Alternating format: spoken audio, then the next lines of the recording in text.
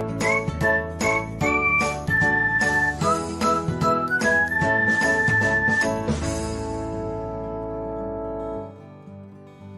everyone, welcome back to another episode of Technology Glance. In this video, I am going to guide you through how you can view the scan history of Snapcode on Snapchat. So, let's get started. Watch till the end and don't forget to subscribe to Technology Glance by hitting the subscribe button and press the bell icon so that you'll never miss another update. Without further ado, let's get started.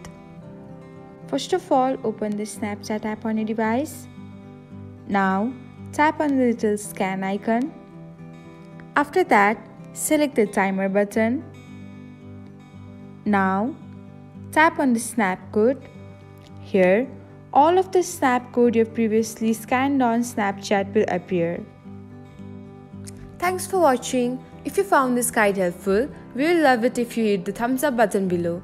We upload great new tech tutorials like this one every day. So, don't forget to subscribe to our channel and hit the bell icon to get an update as soon as we post a video.